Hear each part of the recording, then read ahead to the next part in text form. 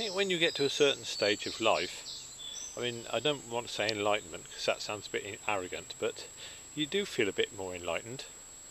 Um, all through childhood, uh, uh and much of which lingers on to adulthood, um, you're you're told about an other world, other existences. You know, whether it's fairy tales or um, the church painting the Bible, they're painting stories into the Bible, which may not be there in some of it.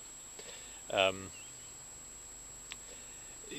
uh, whatever it is, there's this other world, and then you reach a stage and there's this world, and we're totally connected to it.